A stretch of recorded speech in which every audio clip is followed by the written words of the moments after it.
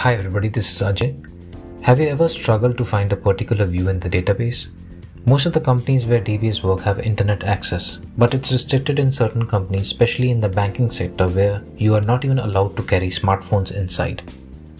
In the Oracle database, whatever information you need is available in a certain view. And to find that view, you have two views for that. The first one is DBA views and the second one is dictionary view.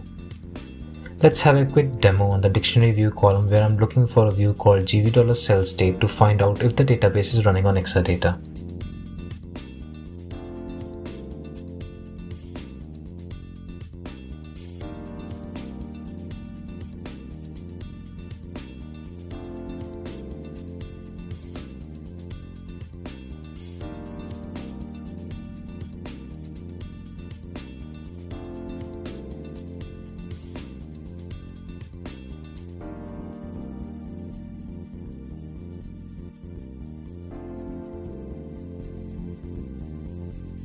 The DBA views view is also good, especially the text column as it gives you the exact script which this view uses to get information from base tables.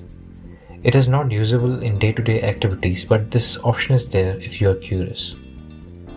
Both the views provide almost similar results but my personal favorite is the dictionary view as it only has two columns so it won't display unnecessary information if you do a select star on this view.